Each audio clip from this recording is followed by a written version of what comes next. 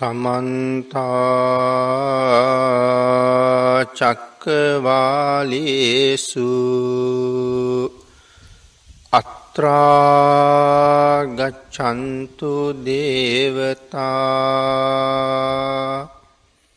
සද්ධම්මං මුනිරාජස්ස සුනන්තු සග්ග මොක්කදං ධම්මස්සවන කාලු අයං බදන්තා ධම්මස්සවන කාලු අයං බදන්තා ධම්මස්සවන කාලු අයං බදන්තා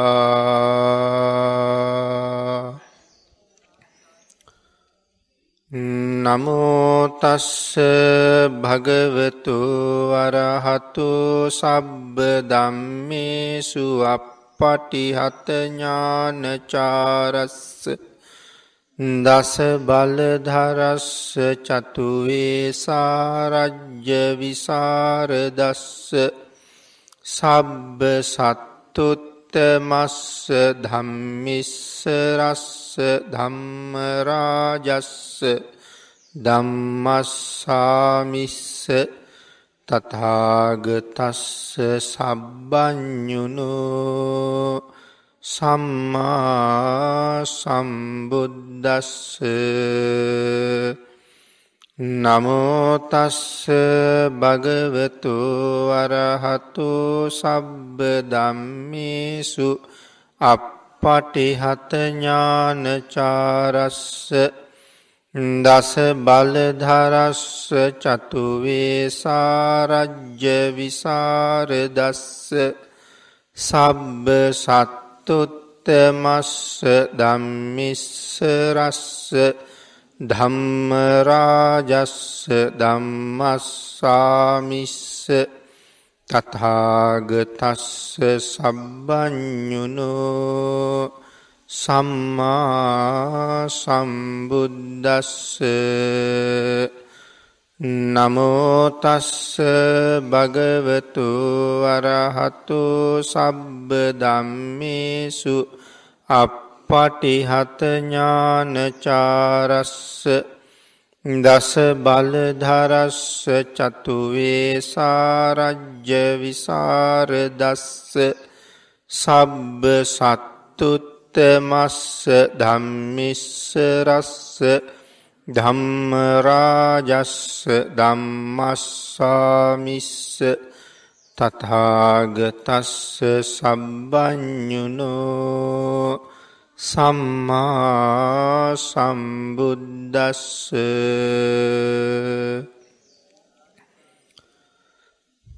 මත්තාසුක පරිච්චාගා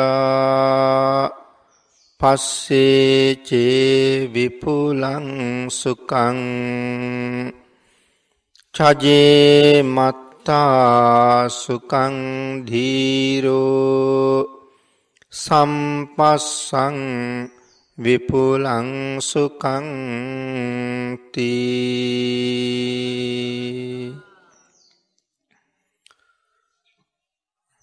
විහාරස්ථානයෙහි වැඩ සිටින අති ගෞරවනීය මහා සංඝරත්නය සියලු දෙනා වහන්සේගෙන්ම අවසරයි. සද්ධර්ම ශ්‍රාවක කාරුණික ගුණගරුක බෞද්ධ පින්නතුනි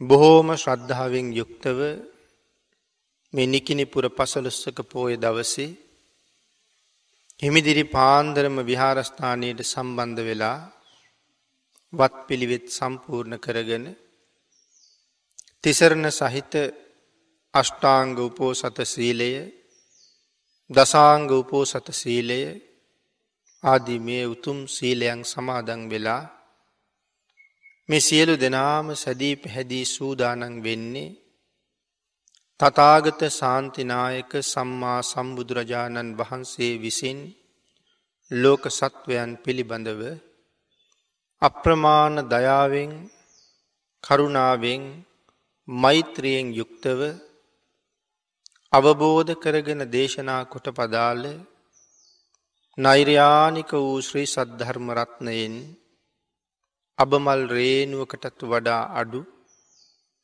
බොහෝම පුංචි කොටසක් දේශනා කරවගෙන ධර්ම ගෞරවය පෙරදැරි කරගෙන දේශනාගත ධර්මය ශ්‍රවණය කරන්නත් එසේ ධර්ම ශ්‍රවණය කිරීමෙන් ලැබෙන අවවාද අනුශාසනා තම තමන්ගේ ජීවිතවලට එකතු කරගෙන වඩාත් නිවැරදි මෙලව ජීවිතයක් සකස් කර ගණ්ඩත් නිවැරදි වූ මෙලව ජීවිතයක් තුළින් සුගතිගාමී වූ පරලොව ආයිති භවයකින් සැනසීමේ උතුම් පරමාර්ථයත් ඇතුවයි මේ සද්ධර්මශ්‍රවනය කරන්න සූදානන් වෙන්නේ. පෙනතුන අද ධර්ම දේශනාවේ මාතෘකාව හැටියට යොදාගත්ත ගාථාරත්නයයි මම මුලින් සිහිපත් කරන්නට යෙදනි. මත්හාසුක පරිච්චාගා පස්සේචේ විපුලං සුකං චජයේ මත්තා සුකං ධීරෝ සම්පස්සං විපුලං සුකං තී කියන ගාථාව. අපේ බුදුරජාණන් වහන්සේගේ ශාසනයේ මහා ජනසන්නිපාතයන් එකතු වෙච්ච සුවිශේෂී අවස්ථා තුනක් තියෙනවා. පළවෙනි එක තමයි යමක මහා ප්‍රාතිහාරය දක්වපු වෙලාව. දෙවැනි එක තමයි දේවාරෝහණ පූජාව. තෞතිසාාව වස් සමාදන් වෙලා වස් පවාරණය කරපු අපේ බුදුරජාණන් වහන්සේ නැවත මනුලවට වඩිනකොට දෙවියන් කරපු පූජාව. තුන්වෙනි එක තමයි ගංගාරෝහණ පූජාව. යමක මහාපාටිහාරී දක්වපු අවස්ථාව දේවාරෝහණ පූජාව සහ ගංගාරෝහණ පූජාව. ගංගාරෝහණ පූජාව කියල කියන්නේ විශාලා මහනුවරට බුදුරජාණන් වහන්සේ වැඩම කරලා රතන සූත්‍රයේ දේශනා කරලා ආපහු සැරයක් රජගහනුවරට වඩින අවස්ථාවේ සිදුවෙච්ච අසිරිමත් පූජාව සම්බන්ධ කාරණාව. මේ කාරණාවට සමගාමීව තමයි මේ මාතෘකා කරගත්ත ගාථා රත්නය බුදුරජාණන් වහස දේශනා කොට වදාලි. මේ කාරණාව බොහෝම කෙටියෙන් අපි මේ අවස්ථාව සිහිපත් කරමු මේ ගාථාවට බොහෝ කරුණු සම්බන්ධ කරලා අපිට සාකච්ඡා කරන්න පුළුවන් නිසා. අපේ පින්නතුන් විශාලා මහනුවර ගැන හැමෝම අහලා තියෙනවා. ටිකක් ටිකක් හරි තොරතුරු දන්නවා. විශාලා මහනුවර කියල කියන්නේ බුද්ධ කාලයේ තිබිච්ච ඉතාමත්ම සස්්‍රීක උතුම් රාජ්‍යයක්. අහවල් දෙයින් අඩුයි කියල කියන්න දෙයක් නෑ. දුප්පත් අය ඉන්නවා කියලා කියන්න කෙනෙක් නෑ. හැමෝම ඉසුරුමත්. බොහොම දනවත්. ලෙඩ රෝගවලින් බොහොම අඩු හැම සැප සම්පතිකින්ම බොහොම ආඩ්ඩි ඉතාමත්ම සමගි සම්පන්න පිරිසක් ජීවත්වෙච්ච රාජ්‍යයක්. හරියට නිකං කෙටියෙන්ම කීවොත් මහපොළුවේ පිහිටෝපු දිව්‍යමය රාජ්‍යයක් වගේ. ඒ තරම්ම ශස්ත්‍රීකයි කියල කියන්නේ. සමගි සම්පන්න බව මනාව පැහැදිලි වෙනවා විශාලාවේ රජවරු හද්දාස් හත්සිය හත් දෙනෙක් හිටිය කියල සඳහන් කරනවා. එකම රාජ්‍යයේ රජවරුම හද්දාස් හත්සිය හත් දෙනෙක්. දෙන්නෙක් හිටියත් ගැටුමක්. දෙන්නෙක් හිටියත් යුද්ධයක්. එහෙම තැනක හද්දා සත්සය හත් දෙනෙක් මොන තරං සමගි සම්පන්නද කියන කාරණාව අපිට හිතා ගණ්ඩුවත් බැරි තරම්. මේ කාරණාව විස්තර කරන තැන සඳහන් කරනවා. ඒ හැම රජෙකුටකම එක්කෙනාට එක මාලිගාව ගානි තිබුණ කියලා. තව දෙකතුන තියෙන් නැති නමුත් එක මාලිගාවක රජවරු දෙන්නෙක් නෑ. හැමෝටම වෙන වෙනම මාලිගා තිබුණ. හැමෝටම වෙන වෙනම රත තිබුණා. හැමෝටම වෙන වෙනම උයන් තිබුණා. හැමෝටම වෙන වෙනම පොකුණු තිබුණා. තම තමන්ට පෞද්ගලික අවශ්‍යතා සියල්ලම වෙන වෙනම වෙන්වෙන් වෙලා තිබුණා. නමුත් පුදුම සමගියෙන් තමයි කටයුතු කරන්නේ. මෙහෙම බොහෝම සතුටින් රාජ්‍ය පරම්පරා හතක් විතර ගෙවුණා. අටවෙනි රාජ පරම්පරාවට වාගෙනකොට විශාලාවට මහපුදුම අවාසනාවන්ත කාලයක් උදාවෙන්න ගත්තා. විශාලාවට එන්ඩෙන්ඩ වරුසාව හිගවෙඩ පටන් ගත්තා. වැව් පොකුණු හිඳිල ගියා ගොවි තැම්බත් නැතුව ගියා රටේ ශස්ත්‍රීක බව එන්ඩෙන්ඩ හීන වුණා මිනිස්සු උපයාගෙන තිබිච්ච ධන සම්පත් ඉවර වුණා අටුකොටු හිස්වෙන්ඩ පටන් ගත්තා කොයි තරන්ද කියනවා නං මිනිස්සු බඩගින්නේ මැරෙන්ට පටන් ගත්තා. මිනිස්සු පිපාසාවේ මැරෙන්ට පටන් ගත්තා. මිනිස්සු මැරෙනවා මිසක් මලකඳන්ටික ආදාහනය කරන්න කෙනෙක් නැතුව ගියා. ඇයි ඒ කටයුතු කරන සොහොම් පල්ලොත් මැරිලා. ඒ හින්ද එක ගෙයක් ඇතුළි සමහර වෙලාවට මලකඳන් හතාට ගොඩ ගැහිලා. වලලන්න කෙනෙක් නැතිහින්ද දවසින් දවස නරක් වෙන මලකඳංගොල දුර්ගන්ධය රාජ්‍ය පුරාම හමාගෙන යනවා. ඉවසන්ඩ පුළුවන් දුර්ගන්ධයක් නෙමෙයි ඒක. නමුත් කරන්න දෙයක් නැතිහින්ද ජීවත්වෙනවා. මේ අතර රෝග ඇතිවෙන්ඩ පටන් ගත්තා. ඇයි මළමිනී කුණුවවී තියෙනවා විෂබීජ පැතිරෙනවා රෝග ඇති වෙනවා. අහිවාතක කියන රෝගයක් තමයි පැතිරෙන්ට ගත්ත කියලා කියන්නේ. අහිවාතක කියලා කියන අහි කියන්නේ සරපයාට. වාතය කියන්නේ කොහොමත් සුළඟනේ. සරප විසක් වාගේ විසක් මේ හුළඟත් එක්ක හමල යනවා. යම් කෙනෙකුගේ ගත දැවටෙනවද ආග්‍රහණය වෙනවද ඒ අය රෝගතුර වෙනවා. අහිවාතක. තව තවත් මේ තත්ත්වය උත්සන්න වෙනවා විශාලාවට හැම පැත්තෙම අමනුෂ්‍යෝ ඇබෙහිවෙන්න පටන් ගත්තා. ඉස්සරලාම දුර්භික්ෂ ඇති වුණ ඊට පස්සේ රෝග බය ඇති වුණ ඊට පස්සේ අමනුෂ්‍ය බය ඇති වුණ. මේක තමයි විශාලාවට ඇතිවෙච්ච ත්‍රිවිධ බය. විශාලාව විශාල ජනගහනයක් හිටපු රාජ්‍ය. එනිසා තව නොමැරී හිටපු අය දස් ගණන් ඉන්නවා. ඒ අය ප්‍රධාන රජ්ජුරෝගාවට එකතු වුණා. එකතු වෙලා රජ්ජුරුවන්ට සඳහන් කළා මහරජය රාජ පරම්පරා හතක් මේ ශ්‍රේෂ්ඨ රාජ්‍ය දිව්‍යමය රාජ්‍යයක් වගේ වැජබුණා. එවන් උතුම් රාජ්‍යයකට මේවාගේ අවාසනාවන්ත තත්ත්වයක් උදාවනා කියල කියන්නේ.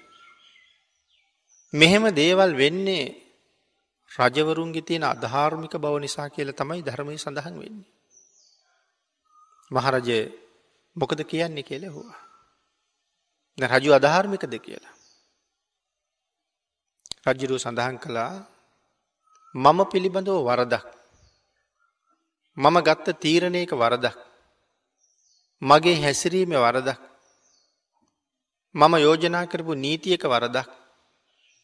කොතන හරි තියෙනවනං. මට හොයලා ඒක ඇවිල්ල කියන්න කියලා. ජනතාවට එයින් එහාට කතා කරන්න දෙයක් නෑ. එනිසා ඒගොල්ලො ඊට පස්සේ පටන්ගත්ත රජ්ජුරුවන්ගේ කටයුතු හොයල බලන්ට.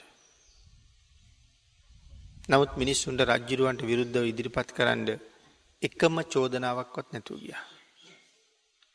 මිනිස්සු ඊට පස්සේ ඇවිලා රජ්ජිරුවන්ට කිව මහරජය එහෙම කිසිම වැරදි බවක් වැරදි නීතියක් යෝජනාවක් ක්‍රියාවක් අපිට දකිින්ට නෑ. එහෙමනම් මේක අපි සියලු දෙනාගේම මහා භාග්‍ය සම්පන්න අවාසනාවන්ත කාලය. නමුත් දැන් අපි මොකද කරන්නේ මේ මිනිස්සු දවසින් දවස දවසින් දවස මැරි මැරි යනවා. ඒ හින්දා එකතු වෙච්ච සියලු දෙනා යෝජනා කරගත්තා. මහා බලගතු දෙවිවරුන්ගේ නං කියලා ඒ දෙවියන්ට බලිබිලි පූජා කරමු කියලා. ඒ කියන්නේ එතකොට එහෙනම් සම්මාදිට්ඨික දෙවියෝ නෙමෙයි. නොයෙක් මිත්‍යා දෘෂ්ටික නමුත් බලවත් කියලා හිතාගෙන හිටපු දෙවිවරුන්ට පූජා පවත්වන්න. හැමෝම එකඟ වෙලා එකතු වෙලා එහෙම පූජා පැවැත්වා බොහොම උත්කර්ශවත් විදිහට. නමුත් ඉතින් කවදාවත් යහපතක් වෙන බවක් ඊයට වඩා අද තත්ත්වය හොඳාතට හැරිලා තියෙන්නේ වෙනස් වෙලා තියෙන්නේ කියල කියන්න ස්වභාවයක් දැක්කි නෑ. ඊට පස්සේ මේගොල්ලු තීරණය කළා බුදුවරු වැඩඉන්නවා මේ ලෝකයේ. අන්ගේ බුදුවරු වැඩමෝල ඒ බුදුවරුන්ට උපස්ථාන කරමු. එහෙම උපස්ථාන කරහම අපිට ඒකෙන් ලොකු ලාභයක් ලොකු සහනයක් ලැබේ කියලා. ඒ ඇන ලෝක බුදුවරු හුඟක් හිටියද. නමුත් ඒ කාලේ ලෝක බුදුවරු හය දෙනෙක් හිටිය කෙල කියනවා. එනිසා මේගොල්ලො ඒ බුදුවරු හය දෙනාගේ නං යෝජනා කළා. අහවල් කෙනා වැඩමෝම අහවල් කෙනා වැඩමෝම අහවල් අය වැඩමෝම එක එක් කෙනා එක එක අවස්ථාවන් වල එක එක යෝජනා ගෙනවා. කෞද මේ බුදුවරු කියල කියන්නේ. ඇයි අපේ පිනතුන් උදේට බුදුන් වඳින ගාථාවේ ඒ කාරණාව ප්‍රකාශ කරනවා සේල බ්‍රහ්මණතුමා. අපේ බුදුරජාණන් වහන්සගේ කාලේ මමත් බුදුන් මමත් බුදුන් කියලා කියාගත් අය හය දෙනෙක් හිටිය. ඒ වෙන කවුරුවත් නෙමයි ෂට් ශාස්තෘවරු. ඒගොල්ලො කිව අපිත් බුදු වෙලා ඉන්න කියලා. ඒකන සේල බ්‍රහ්මණතුමා බුදුරජාණන් වහසරඟට ගිහිල්ල කියන්නේ. තුවන් බුද්ධෝ තුවන් සත්තා. තුවන් මාරාභිභූමුණී තුවන් අනුසයේ චෙත්වා තින්නෝ තාරේසි මම් පජන්. තුවන් බුද්ධෝ ඔබමයි බුදුන්. ඒ කියන්නේ එහෙනම් එක බුදුරජාණන් වහන්සේ නමක් නම් වැඩ හිටියේ ඔබමයි බුදුන් කියලා කියන්න ඕන්නේ නේ. ඒ කාන්තයෙන්ම ඒ බුදුන්නේ. නමුත් එදා මිනිස්සුත් හරියට අතරමං වෙලා පැටලිලා හිටිය මේ කෞද බුදුරජාණන් වහස කියලා හරියට තෝර ගණඩ බැරුව. ඇයි මේ හය දෙනාම කියනවා අපිත් බුදුවරු කියලා. එකයි කියන්නේ නෑ නෑ වෙන කවුරුවත් නෙමෙයි ඔබමයි බුදුන්. තුවන් සත්හා ඔබමයි ශාස්තෘ. තුවන් අනුසයේ චෙත්වා. ඉතාම සියුම් වූ කෙලෙස් පවා ඡේදනය කරපු විනාශ කරපු සිඳලදාපු ඔබහන්සේටමයි බුදුරජාණන් වහන්ස කියල කියන්න. තින්නෝ තාරීසි මම් පජන් මිස් භවසාගරයේ තරණය කළ එකම මුනිවරය ඔබහන්සේ ස්වාමීණී මේ ප්‍රජාව සංසාරයෙන් එතර කරවන්ට. ඉල්ලීමක් කරනවා.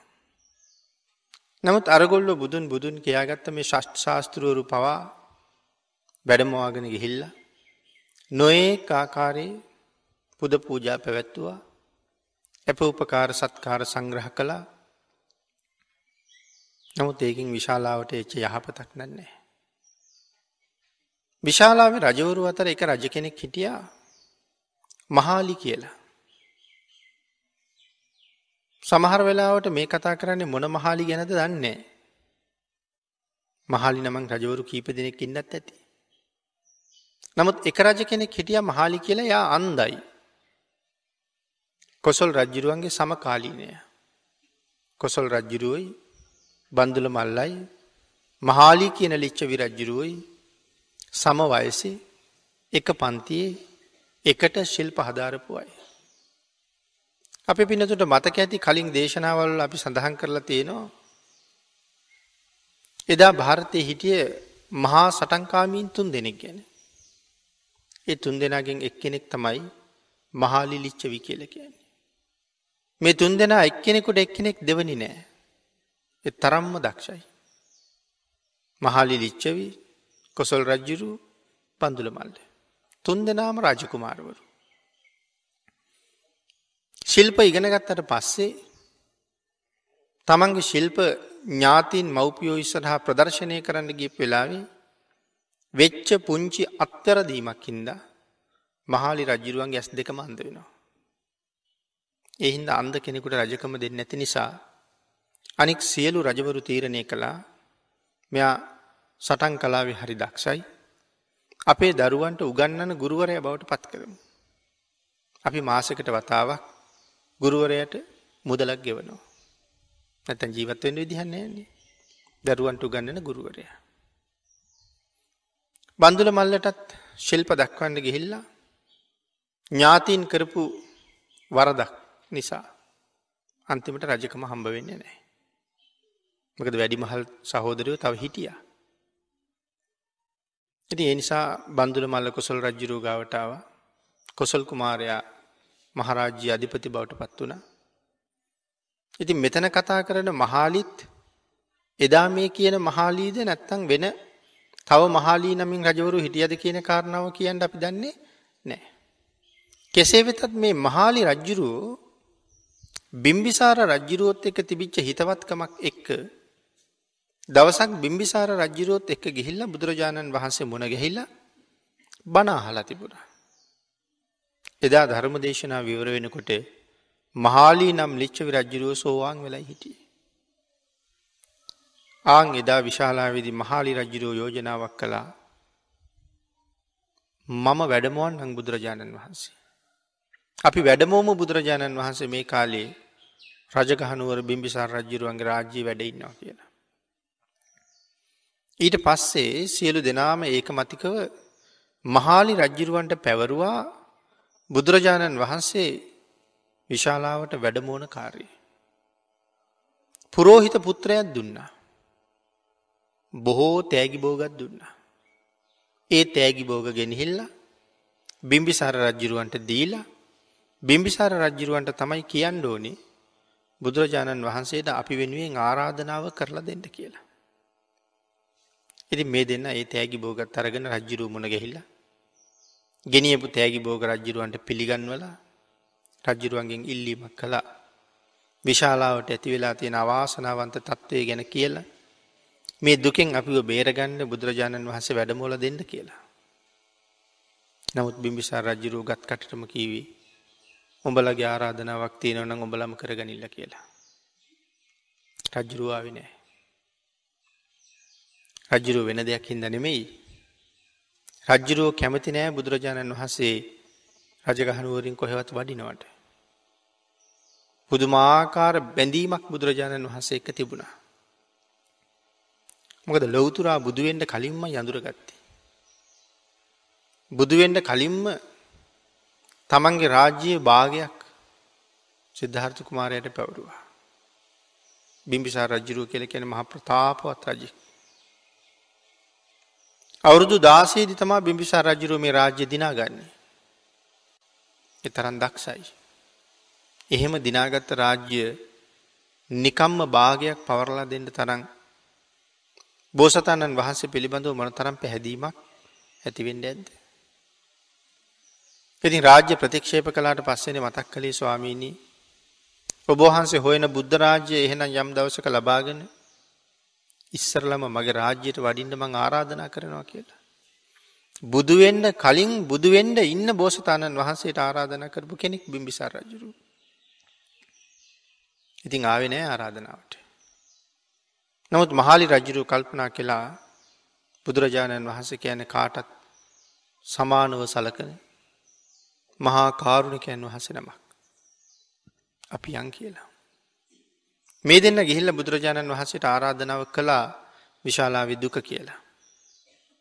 ඒ වෙලා බුදුරජාණන් වහන්සේ සර්වඥතා ඥානය මෙහෙවල බැලුවා මගේ විශාලා ගමන කී දෙනෙකුට නං යහපතක් වෙනවද කියලා. විශාලාවේ දේශනා කරන්න ඕනේ ධර්මය මොකක්ද කියන එක භාගිතුන් වහස තීරණය කරලා ඉවරයි. විශාලාවේ තමයි දේශනා කරන්නේ රතන සූත්‍රයේ. කොච්චර බල සම්පන්නද කියන කාරණාව මෙච්චරයි මෙපමණයි කියලා වචනවලින් කියන්න දන්නේ. කොච්චර බල සම්පන්නද කියන කරුණ මේ කතාව බොහොම පුංචියට තැනක විස්තර වෙනවා. නමුත් වෙනම සර රතන සූත්‍රයේ සාකච්ඡා කළොත් පැය පහළුවක් විස්සක් සාකච්ඡා කරන්න කරුණු තියෙනවා. ඒත් අවසානයට නෙමේ. ඉතින් භාගිතුන් වහස රතන සූත්‍රයයි දේශනා කරන්නේ කෝටි ලක්ෂයක් සක්වලේ ආග්ඥාව පතුරෝල දේශනා කරන්න පුළුවන් සූත්‍ර දේශනාවක්. මේ දේශනාව භාගිතුන් වහස විශාලාව කරලා ඉවර වෙනකොට අසූ හාරදාහක් ප්‍රාණීන් ධර්මාවබෝධය ලබනවා. එතකොට මෙතන අනුකම්පා කරන්න ලිච්චවීන්ට විතරක් නෙමේ ධර්මාවබෝධය ලබන අසූහාරදාහක් තරම් ප්‍රාණීන්ට. ඒ නිසා භාගිතුන් වහස සඳහන් කලා හොඳයි විශාලාවට වඩින ආරාධනාව භාරගන්නන් කියලා. ඒ දෙන බොහෝම සතුටින් පිටත් වෙලා ගියා බුදුරජාණන් වහන්සේ ආරාධනාව පිළිගත්ත කියලා. බිම්බිසාර රජ්ජුරු කොහොමත් දන්නවා කාගවත් ආරාධනා එහෙම ප්‍රතික්ෂේප වෙන්නේ නෑ භාගිතුන් වහස විශාලාවට ආරාධනාව භාරගත් තමයි කියලා. ඒ නිසාම තමන්ගේ රාජපුරුෂයන් කැඳවලා ඒ අයට කිව ගංගා කියන ගඟ ගාව ඉඳලා. රජගහ නුවර වේළුවනාරාමය දක්වා. මේ මාර්ගය සම්පූර්ණයම උදුළු ගාණ්ඩුවනේ. තනකොළ කෙන්දක්වත් නැතු උදුළු ගාණ්ඩුවනේ. උස්තැන් කපල දාණ්ඩුවනේ. මිටි තැන් පුරවන්ඩුවනේ. සඳහන් කරනවා රජගහනුවර ඉඳලා ගංගා නදිය ගාවට යොදුන් පහක් තියෙනවා කියලා. සාමාන්‍යයෙන් අපි යොදුනක් කියල කතා කරන්නේ හැතැක්ම දාසයයි කියලා. ඒ ගාන තැන්තැන්ගොල ටිකක් වෙනස්. ලංකාව යොදුන් තුන් සීයයි කියල කියන්නේ. එහෙම බැලුවොත් යොදුනක් සැතපුම් දහයකට වඩා ටිකක් අඩුයි. හැතැක්ම නමයක් නමය හමාරක් නමයයි තුන් කාලක් වගේ තමයි එහෙමුණුත් යොදුනක ප්‍රමාණයෙන්නේ. කෙසේ වෙතත් අපි දළ වශයෙන් දහයයි කියල ගත්තොත් එහෙමුණුත් රජගහනුවර ඉඳලා ගංගා නදිය ගාවට තියෙනවා හැතැක්ම පණහ. ඒ මාර්ගය මේ පිළිසකර කරන්න. සම්පූර්ණ සුද්ධ කරලා ඊට පස්ස රජ්ජුරුව ඒ අයට කරුණු සඳහන් කරලා තිබුණා මේ පස් යොදුන් මාර්ගය සම්පූර්ණයෙන්ම සුදු වැලි අතුරන්න ඕන කියලා. බැලි ඇතුරුව හමත් වැල්ලෙත් වලක් ගොඩැල්ලක් මොකොවත් තියෙන්ට බෑ. හරියට අතුරලා මනාව වැලි සමනලා හරියට බැලූ බැල්මට සුදෝ සුදු වැලි තලාවක් වගේ දිගට පේෙන්ඩෝනේ. පන්සල් පහක් හදන්ඩෝනේ. පුංචි පන්සල් නෙම යව්වා. බුද්ධ ප්‍රමුඛ පන්සීයක් දෙනා වහන්සේට වැඩඉන්න පන්සල්. වැඩයින්ඩ සැතපෙන්ඩ විවේක ගණ්ඩ සක්මං කරන්න පැම් පහසුවෙන්ට පැම්පකුණු සියලුම දේවල් හදන්ට ඕන. ඇයි මේ පන්සල් පහක් හදන්නේ. බුදුරජාණන් වහන්සේ පාගමනින් වඩින ගමනක් තියෙනවනං යම් තැනකට. කොයි තරං හදිසියක් තිබුණත් භාග්‍යතුන් වහන්සේ දවසකට වඩින්නේ එක යොදුනයි කියල සඳහන් කරනවා. යොදුනකට වඩා දවසකට වඩින්නේ. එහෙම වැඩම කරලා එදාට නතර වෙනවා එතන. ආං ඒ නිසා යොදුන් පහයි යොදුන් පහට පන්සල් පහයි. යොදුනින් යොදුන නතර වෙනවා. ඒ පන්සල් පහත් අපූරුවට හැදවා. ඉතින් අපිට හිතෙන්ට පුළුවන් අපි පන්සලක් හදන්න ගියහම අවුරුදු කීයක් යයිද එච්චර කල් ගියාද මේ පන්සල් හදන්ට කියලා. බිම්බිසාර රජ්ජුරුවන්ගේ රාජ්‍යී ජීවත් වන පිරිස දහට කෝටියක් කියල කියන්නේ. පන්සලක් හදනවා කියන එක මහලකු කාලයක් ගැන්ඩ දෙයක් නෙමෙයි දවසින් දෙකින් වැඩිවර වෙනවා. පන්සල් පහක් හදන්ඩ ඕනේ. තොරං බඳින්ඩ ඕනේ. පාරද පැත්ති පුන් කලස්ති අන්ඩ ඕනේ. දජ පතාක හිටවන්ඩ ඕනේ. මොනවද දජ කියල කියන්නේ? කොඩිවලට පතාක කියල කියන්නේ ඊට වඩා හුඟක් ලොකු කොඩිවලට දජ පතාක කියන්නේ ජාති දෙකක්. සාමාන්‍ය කොඩි සහ මහ ලොකු කොඩි. ලොකු කොඩිවලටයි පතාක කියල කියන්නේ.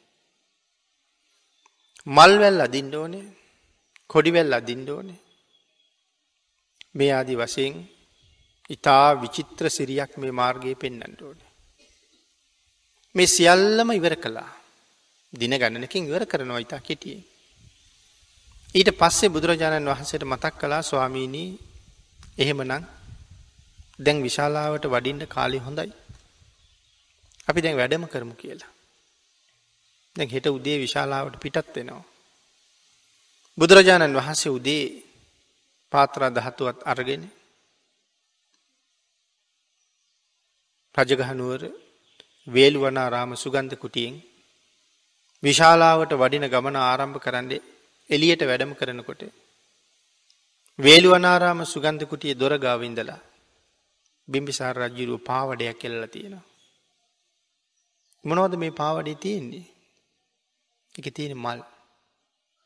විවිධ විවිධ වර්ගවල මල්. හිතාගන්න බෑ කොච්චර මල් තිබ්බද කියලා. නමුත් සඳහන් කරනවා භාගිතුන් වහස සිරිපා දහතුව ඒ මල් මත තියෙනකොට භාගිතුන් වහසගේ ධනමණ්ඩලේ දක්වා මල් ගොඩ එරුණ කියලා. ඒ තරම් මල් කන්දක්. එතන විතරක් නෙමෙයි. එදා නවතින යොදුන ගමන් කරලා ඒ පන්සල ගාවට යනකම්ම මේවාගේ විශාල මල් කන්දක් මත තමයි ගමන් කරන්න. තියෙන අඩියක් අඩියක් ගානේ දනිහ ගාවට මල්ලයනවා. බුද්ධ ප්‍රමුඛ පන්සීයක් මහරහතන් වහන්සේල වැඩම කරනවා. මේ රජවරුන්ට කොයි තරන්නම් ශ්‍රද්ධාවක් තියෙන් ඇද්ද.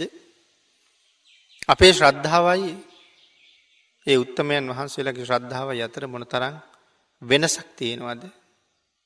උන්වහන්සල මගඵල ලබන්ඩත් අපිට තාම බැරිවෙන්ඩත් සසරින් එතර ගියපු අයගේ ශ්‍රද්ධාවත් අපේ ශ්‍රද්ධාවත් අතර මොන තරං වෙනසක්ද කියන කාරණාව මේ ධර්ම කාරණා ඇතුළේ වෙන වෙනම හිතන්ඩ තියෙන දේවල්. එක බණපදයක් ඇතුළේ හිතන්ඩ දේවල් බොහොම තියෙනවා. ක්‍රමක්‍රමයෙන් බුදුරජාණන් වහන්සේ ගංගා නදිය ගාවට දවස් පහකින් වඩිනවා. හැබැයි රජ්ජුරුව බුදුරජාණන් වහන්සේගේ හිසට ඉහෙලින් කුඩ දෙකක් ඉහළුවා කියල සඳහන් කරන්න. භාගිතුන් වහසට කුඩ දෙකයි කුඩයක් කුඩ කුඩයක් රහතන් වහන්සේලට එක කුඩයයි. ගංගා ගඟගාවට වැඩිය හම මහ විශාල නැව් රුවල් නැවුණේ නැව් දෙකක් රජ්ජුරුව එකට කරලා ගැට ගහලා. ඒ නැව් දෙක හරියට දිවී ලෝකින් බිමට බෑවවාගේ. ඒ මැද්ද නැව් දෙක එකතු කළ ලොකූ ආසනයක් පනෝලා ඒක මත බුද්ධාසනය හදල. වටේට පන්සීයක් රහතන් වහන්සේලාට අනර්ග බුමුතුරුණු මතින් පනවපු අලංකාරාසන පන්සීයක් හදලා භාගිතුන් වහසට වඩින්ට.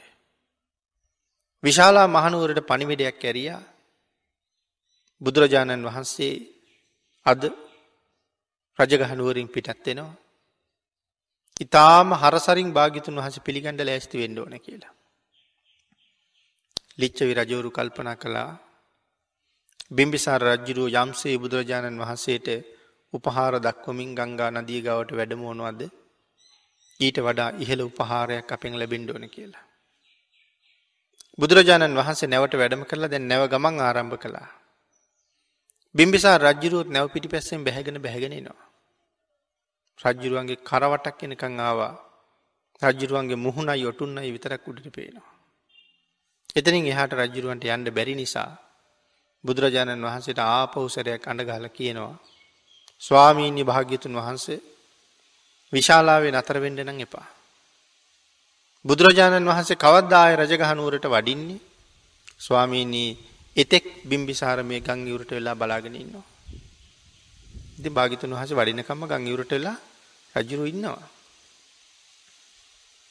බුදුරජාණන් වහන්සේ විශාලාව පැත්තට වැඩම කළා. විශාලා රජවරු කරවටක් ගගේ බැහැල ඇවිල්ල බුදුරජාණන් වහන්සේ පිළි අරගෙන හෙමින් හෙමින් ඒ නැව ලංකර ගත්තා විශාලාව පැත්ති ගංගිවුරට. බුදුරජාණන් වහන්සේට නැවෙන් එලියට බහින්ඩ අපූරු මාවතක් හදල තිබ්බා. ඒ මාවතින් බුදුරජාණන් වහන්සේ ගගේ එහා පැත්තේ උරට සිරිපා ධාතුව තියෙනවාත් එක්කම සඳහන් කරනවා මහා මේග වලාවන් නැගිලා ධාරාණි පාත පොකුරු වෙහිය දැහෙලෙන්ට පටන් ගත්ත කියලා. මොනවර්ද මේ පොකුරු වෙහි කියල කියන්නේ. පොකුරු වෙහි කියල කියන්නේ ඉතාම ධාරාණි පාත වැහි නමුත් ඒ වැසට තෙමෙන්ට කවරු හරි අකමැති නම් ඒගොලු තෙමෙන්නේ. තෙමුණත් කමක් නෑ කියල ඉන්න අනික්කයි හැමෝම තෙමෙනවා. අකමැති අය විතරක් තෙමෙන්නේ. එවට කියෙන පොකුරු වෙහි කියලා. මුළු විශාලාවටම මේ වැස්ස ඇද හැලෙනවා. විශාලාව වතුරෙන් පිරුණා මහා ජල ධාරාවක් විශාල පුරා විශාලාව පුරාම ගලනවා. ටික වෙලාවක් යනකට මිනිස්සුන්ගේ පිටිපතුල් උඩින් වතුර ගලන්ඩ ගත්තා. තව ටිකක් වෙලා යනකොට ඒ වතුර මිනිසුන්ගේ දනමඩල දක්වා පිරුණා. තව ටික වෙලාවක් යනකොට ඒ වතුර මිනිස්සුන්ගේ ඉනගාවට පිරුණා. තැන් විශාලාව ඉනක් වතුර තියෙන තනිකරම ජලගඟක් වගේ. මුළු විශාලාවම හෝදගෙන ගංගාවලටයි සාගරයටයි වතුර ගියා. ගෙයක් ඇතුළි තියෙන මිනි කෑල්ලක්වත් විශාලා විතුරු කළේ නෑ. බුදුරජාණන් වහන්සේ විශාලාව පැත්තර තා විශාලාවට දුරයි ගංගා නදිය ගාවිඳල විශාලාවට යොදුන් තුනක් තියෙනවා එකන හැතැක්ම තිහක්වත් තියෙනවා. මෙහින්දල කල්පනා කිරුවත් වාරිය පොළ දිහට තරංවත් තාව විශාලාවට දුරයි. භාගිතන් වහන්සේ එහෙට වඩින් ඉස්සරල විශාලාව පිරිසිදු කරනෝමී. සම්පූර්ණ සුද්ධ පවිත්‍ර කළ ඉවර කලා වැස්සෙන්. ලිච්චවි රජවරුත් පන්සල් තුනක් හදල තිබුණ යොදුන් තුනක් තියෙනවානි. අර විදිහටම පාරවල් හදල සුදුවෙලි අතුරලා මල් පාවඩ දාලා දජපතාක හිටවල පුන් කලස්තියලා තොරං බැඳල කොහොමත් ඒ හැම එකක්ම බිම්බිසාර රජ්ජුරුවන්ට වඩා ඉහලයි. බිම්බිසාර රජ්ජුරුව බුදුරජාණන් වහන්සේගේ හිසට ඉහෙලින් කුඩ දෙකක් ඉහෙළුවා. ලිච්චවි රජවරු බුදුරජාණන් වහන්සේගේ හිසට ඉහෙලින් කුඩ හතරක් ඉහෙළුවා. ප්‍රහතන් වහන්සේලගේ හිසට ඉහෙලින් කුඩ දෙකක් ඉහෙළුවා. රජවරුන්ගේ අනර්ග පිළිගැනීමත් දැහැමි උපස්ථානයක් ලබමින් බුද්ධ ප්‍රමුඛ පන්සීයක් මහා සංගරත්නය විශාලාවට වැඩම කළා. දැන් විශාලාවේ ගඳ නෑ භාගිතුන් වහස වඩිනවාත් එක්කම විශාලාව හිටු අමනුෂ්‍යෝ විශාලාව දාලා යන්න පටන් ගත්තා. මහේෂාක්‍ය දෙවිවරු ඊට කලින් වැඩිය එත් එකම දෙවිය වඩිනකොට ඉන්ඩ බෑ අමනුෂ්‍යයන්ට. ඒත් යන්ඩ ගියා. නමුත් බුදුගුණේටත් කීකරු නැති. මහ බලගතු අමනුෂ්‍යයුත් නැතුවනෙමයි. කීකරුණේ. එහෙම අයි ඉතුරුුණා. අනික් ඔක්කොම යන්ඩ ගියා. බුදුරජාණන් වහන්සේ වෙනුවෙන් විශාලාවේ සකස් කරලා තිබිච ශාලාව වැඩඉඳල ආනන්ද ස්වාමීන් වහන්සේට කතා කරලා බුදුරජාණන් වහන්සේ රතන සූත්‍රයේ ගෙන්නවා. ඒ තමයි රුවන් සූත්‍රයේ දේශනා කරපු දවස. ආනන්ද ස්වාමීන් වහසට කටපාඩන් කරගන්න හුඟක් කල්ලු ගන්නට වෙන්න ඇත්ත. සමහරලාට රතන සූත්‍රයේ අපිට තාම පාඩන් නැතිව ඇති. නමුත් ආනන්ද ස්වාමීන් වහන්සේට එක පාරයි. ඉතාම කෙටියෙන් දේශනා කරන ධර්මය නමුත් බොහෝම විස්තරාත්මක වැටහෙනවා. කොහොම කියලද සඳහන් කරන්නේ. බුදුරජාණන් වහන්සේගේ එක වචනයක් ආනන්ද ස්වාමීන් වහන්සේගේ හිත ඇතුළේ වචන හැටදාහකින් පරිවර්තනය වෙනවා කියල කියන්නේ. කොයි තරං ප්‍රඥාවක් තිබුණද කියන කාරණාවල් අද අපට හිතන්ඩ නිකං සිහින විතරක් වගේ. සැරියුත් මහරහතන් වහන්සේ ධර්ම සේනාධිපති බවට පත් වනා නමුත් ධර්මය ගබඩා කරලා තියාගන්න භාණ්ඩාගාරික බවට පත්තු ඥානන්ද ස්වාමීන් වහන්සේ මෙ මේ තරම්ම හැකියාවක් තියෙන නිසා.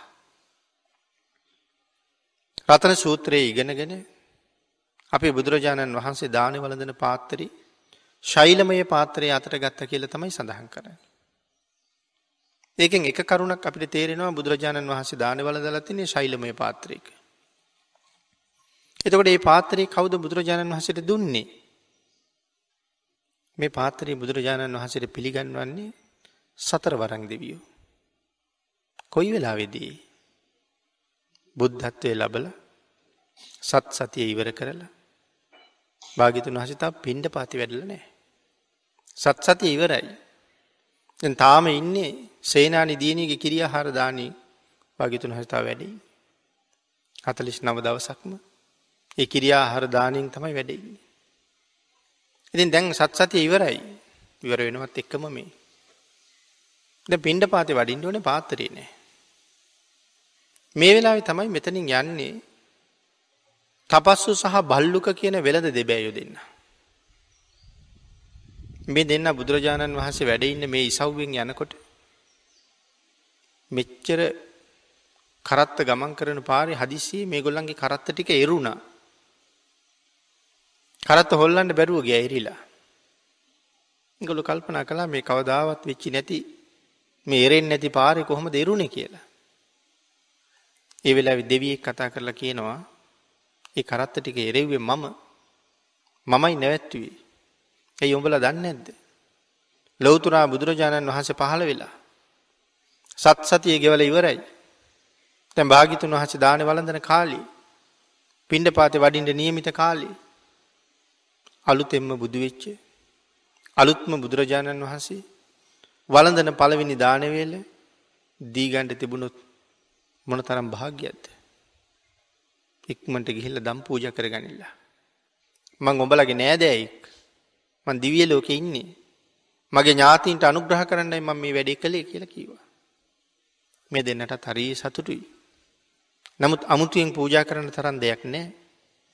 නමුත් එදා ඉතා ප්‍රනීත ආහාරයක් වෙච්ච විලද සහමී පැණි අපි හදන විලද මේ පැණි වගේ නෙමෙයි එදා අග්‍රගන්‍ය ආහාරයක් හැටියට විලද තිබිල තිනේ මීට වඩා හුඟක් උසස් මට්ටමේ. එහින්ද මේ දෙන්න තීරණය කළා අපි ඒක පූජ කරමු කියලා. නමුත් පූජා කරන්න ගියට පාත්තරයක් නෑනේ. සඳහන් කරලම් තියෙනවා බුදුරජාණන් වහන්සේ නිගන්ට පුත්‍රයන් වගේ පිළිගන්නන දේ අතින් බාරගන්නේ නෑ කියලා. දානයක් දුන්නොත් අතට අල්ලට දෝතර පිළිගන්නේ. ඒක නිගන්ටයන්ගේ වැඩක්. එනම් භාගිතුන් වහන්සේට දැන් පාත්‍රයක් අවශ්‍ය නිසා සතරවරං රජවරු තමයි පාත්‍රා හතරක් අරගෙන එන්නේ ඉන්ද්‍රනීල මානික්‍ය මේ පාත්‍රා කියල සඳහන් කරන්න. නමුත් මැනික් පාතරයේ පිළිගන්නේ නෑ.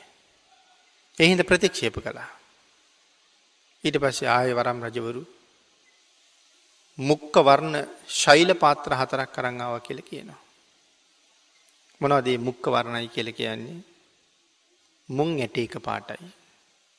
එනම් තරමක කොළ පාටට හුරුව ගල් පාත්තර හතරක්. නමුත් ඉතින් හතරක වලඳන්නත් මේ හතරක් තියා ගණ්ඩත් මේ භාගතුන් වහස බහු බාණ්ඩික වෙන්නේ නෑ. නමුත් එකක් පිළිගත්තොත් අනිත්තුන් දෙනට දුක හිතෙනවා. එහින්ද පාත්තර හතරම එක උඩ තියලා අධිෂ්ඨාන කළා. පාත්තර හතරම එකක් වෙනවා. ඒත් දෙවියන්ට හිතෙන්ට පුළුවන්නේ එකයිද පිළිගත්ත කියලා. ආං ඒ හින්ද සඳහන් කරනවා පාත්තරයේ කට වටේට දාර හතරක් තියෙනවා කියලා. ඒකින් දැනගන්නවා පාත්තර හතරම මෙතන තියෙනවා කියලා. එහෙනම් මේ ගත්ත ශෛල පාත්‍රයේ ශෛලමය පාත්‍රයේ සමහරලාට ඒක වෙන්ඩ පුළුවන්. තවත් සැදැහැවතුන්ට අනුකම්පාවෙන් බුදුරජාණන් වහසේ පාත්තරා පිළිගණ්ඩ ඇති. කෙසේ වෙතත් මේ වෙලාවේ ශෛලමය පාත්‍රය අතර ගත්ත කියලයි කියන්නේ. ප්‍රථන සූත්‍රය ඉගෙනගෙන බුද්ධ නියමයෙන් තුන් මහල් පවුරු අතර මේ සූත්‍රයෙන් පැම් පිරිත් කරලා ඉහින්ඩ කෙල දේශනා කළා. ආනන්ද ස්වාමීන් වහසේ ලිච්ච විකුමාරුවරුත් එක්ක. තුම් මහල් පවුරු වලලු අතර රතන සූත්‍රයේ සජ්්‍යහයනා කරලා පිරිත් පැන් ඉහින්ඩ තීරණය කරලා. මේ රතන සූත්‍රයේ පළවෙනි ගාථාව යංකිංචි විත්තං ඉදවා හුරංවා. මේ මේ ගාථාවෙන් යං කිංචි විතරයි සඳහන් කළේ කියලා කියන්නේ. යං කිංචි කිය වෙනකොට ආනන්ද ස්වාමීන් වහන්සේ පාත්‍රයෙන් පැන් ටිකක් අරගෙන හසට විසික්කා. ආන්ගේ පැන් අහසේ විසිරි විසිරි ගිහිල්ලා මෙතෙක් විශාලාවේ බුද්ධ තේජසට පවා කීකරු නොවිච්ච අමනුෂ්‍යයන්ගේ ඇගේ වැටුණ කෙල සඳහන් කරනවා. දොරමුළුවල හේලංකඩ පිණිකළුවල කහල් ගොඩවල් වල හැංගිලා හිටපු අමනුෂ්‍යයෝ කොහොම දිව්ව කෙල සඳහන් කරනවද නගරයේ විවෘත කරලා තියෙන පවුරු ප්‍රාකාර දොරවල් ඉඩ මදි නිසා පවුරු වලලු බිඳගෙන දිව්ව කෙල සඳහන් කරන. තරම්ම රතන සූත්‍රය අනුභව සහිතයි.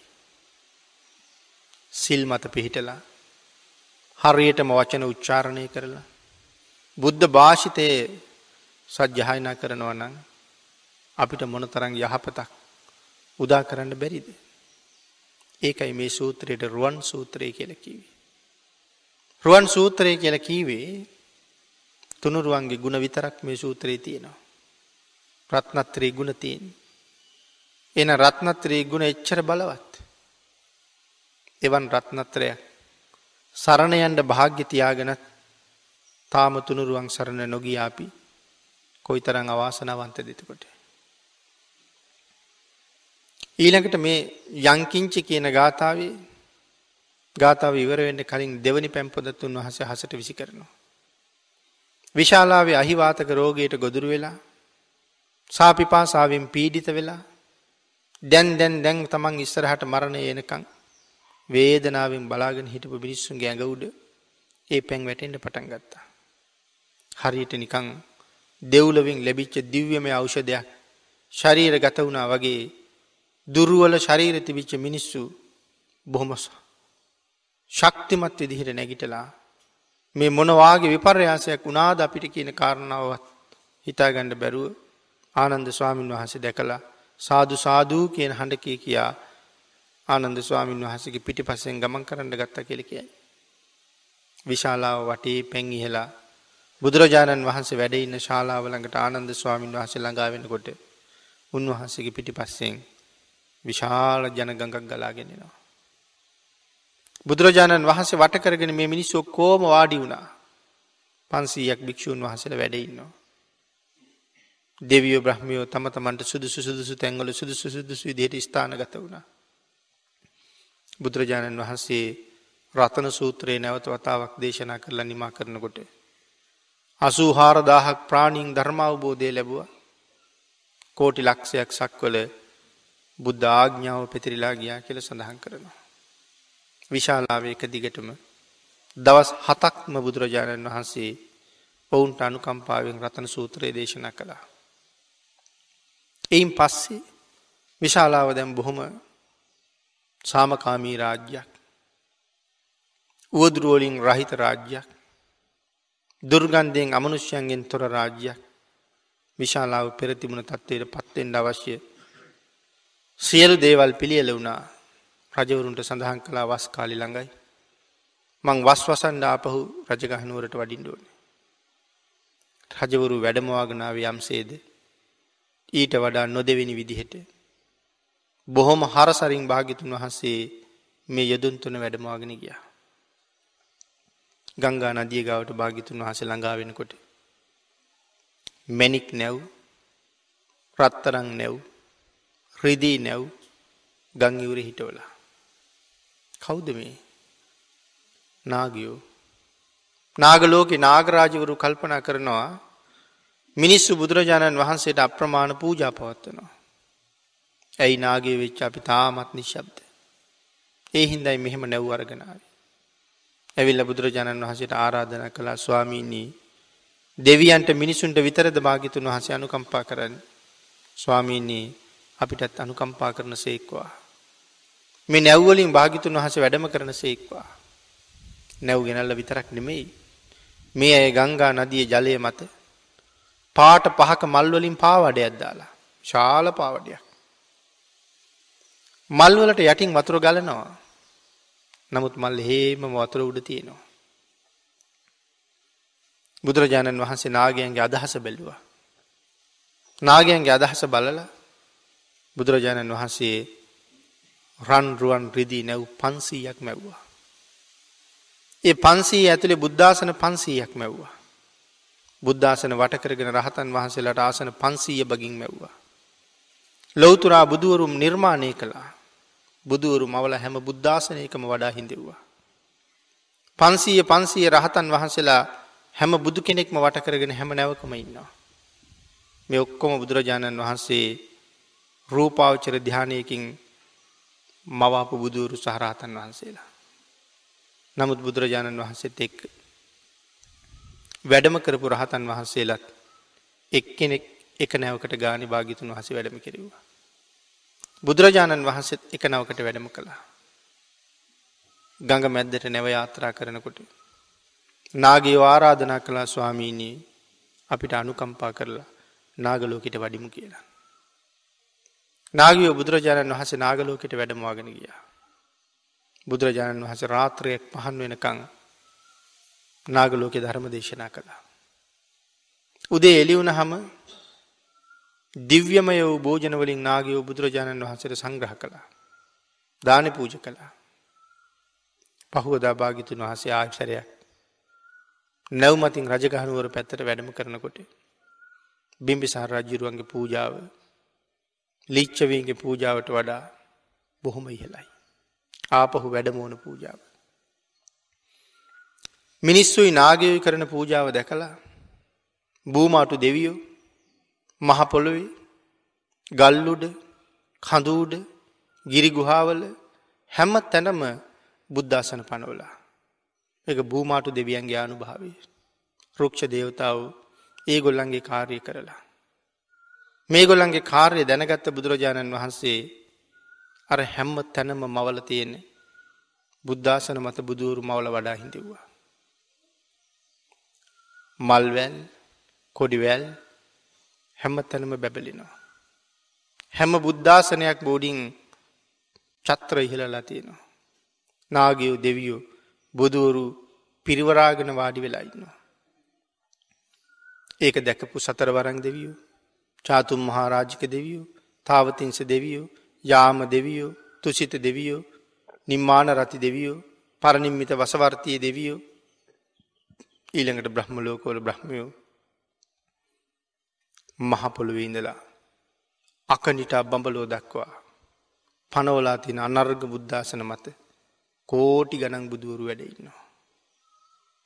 කෝටි ප්‍රකෝටි ගණන් දෙවියෝ බුදුරජාණන් වහසල පිරිවරාගෙනන්නවා. මුළු අහස් තලේම මේ විදිහට ලස්සන්ට තිබුණ කියල වර්ණනා කරන්න බැරි තරම් අපූරු ලස්සනක් හැම බුදු කෙනෙකුගෙන්ම රැස් විහි දෙෙනවා. හැම දෙවියෙක්ම බුදුවරු පිරිවරාගෙන ඉන්නවා. නාගේ ඔබදුවරු පිරිවරාගෙන ඉන්නවා. අකනිටා බඹලෝ දක්කා දජපතා කළ එල දෙනවා. මල්වැල් ඇදල තියෙනවා මල්වැල් කොඩිවැල් ඇදල තියෙනවා. හැම පැත්තෙම සුවඳ පැතිරෙනවා බුද්ධ රශ්මිය විහිදෙනවා.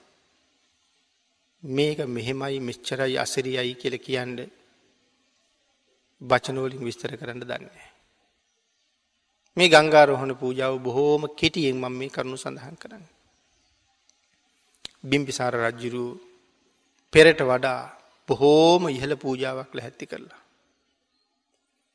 විශාලාවට වඩිනකොට කුඩ දෙකයි ඊළඟට ගංගානදී එහා පැත්තින්ලා ලිච්චවි රජවරු කුඩ හතරයි දැන් බුදුරජාණන් වහන්සේ ගංගා නදීඳලා රජගහනුවරට වඩිනකොට භාගිතුන් වහසගේ හිසට එහෙලින් අකනිටා බඹලෝ දක්වා කුඩ ඉහෙල්ලා තිබුණ කියල සඳහන් කරනවා. ඒ රජ්ජුරුවොත් භූමාටු දෙවියොත් රක්ෂ දේවතාවත් සදිව්‍ය ලෝක දෙවියොත් බ්‍රහ්මවරුත් එකතු වෙලා අකනිටා බඹලෝ දක්වාම කුඩ ඉහෙලියා.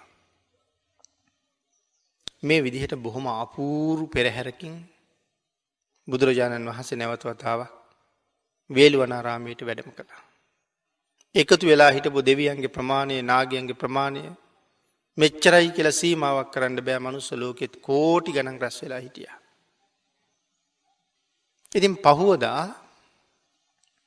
පින්ඩ පාති වැඩලා දාන වලඳලා භික්‍ෂූන් වහන්සේලා විවේකස්ථානයේ වාඩි වෙලා සාකච්ඡාව. ඊයේ විශාලාව ඉඳල වඩින කොටත්. විශේෂයෙන් රජගහනුවරට වඩින කොටත් තිබිච්ච මේ අසිරිමත් පූජාව. මේ ලෝකෙ කාටනං මෙහෙම පුද පෙළහැර ලැබෙන්ඩද. අනේ මේ වාගේ පූජා උපහාර ලැබෙන්ඩ පාරමිතා පුරණ කාලේ කොයි තරන්නම් කැපකිරීම් කරන්න ඇද්ද. මොන තරන්නම් මහ පූජාවල් කරන්න ඇද්ද බෝසතාණන් වහන්සකී කිය සාකච්ඡාව. බුදුරජාණන් වහන්සේ දාන වලඳලා ටිකක් විවේ කාරගෙන භික්‍ෂූන් වහන්සේල ළඟට ඇවිල් අහනවා මහන්නන මොනවාගේ කතා භාක යෙදිල හිටියද. ස්වාමීනී ඊයේ දෙවියොයි නාගයොයි මිනිස්සුයි එකතු වෙලා කරපු මේ මහපූජාව දකිින්ට ලබන්ඩ. ඒකෙන් පිදුම් ලබන්ඩ බෝසතාණන් වහන්සේ මොන තරං පාරමිතා පුරණ කාලෙ කැප කිරීම් කරන්න ඇද්ද කියලා යැපි මේ කතා කරේ. බුදුරජාණන් වහන්සේට මෙහෙම උපහාර ලැබෙන්ඩ කොයි තරං එදා පෙරුම් පුරන්ඩ ඇද්ද වෙහෙසෙන්ඩ ඇද්ද ඒකයි මේ කතා කළේ. ඒම සඳහන් කරහම බුදුරජාණන් වහන්සේ සඳහන් කරනවා නෑමහනිනි. කවදාවත් හිතන් දෙපා ඒ තිබුණේ බුද්ධානු භාවේ ශක්තිය කියලා. ඒ මහ පූජාව බුද්ධානු භාවී බලයක් නෙමෙයි. ඒ මහ පූජාව මං කරපු මහ මහ පින්කං නිසා විපාක දුන්න පූජාවකුත් නෙමෙයි. බුද්ධානු භාවයක් නෙමෙයි නං පාරමිතාවල ආනිභාවයක් නෙමෙයි නං ඒ මහ පින්කංවල ආනුභාවය නෙවෙයි නං මේ මොන පින්කංවල ආනිභාවේද මේක. බුදුරජාණන් වහන් සඳහන් කළා මහනෙන මං එදා කරපු ඉතාම ස්වල්ප පූජාව කානිසංසය යොයිති. ස්වල්ප පූජාවක්. ඉතාම චූටි පූජාවක්. පින්කමක් කරන්ඩ ලැහැත්ති වෙලා යන්නේ නැතුව හදිසියේ කරපු පූජාවක්. පින්කමක් කරන්න කිසිම සූදානමක් තිබ්බේ නෑගිය පින්කමක් කරන්න නෙමේ. නමුත් හදිසියේ ලැබුණ අවස්ථාවෙන් ප්‍රයෝජන ගත්තා.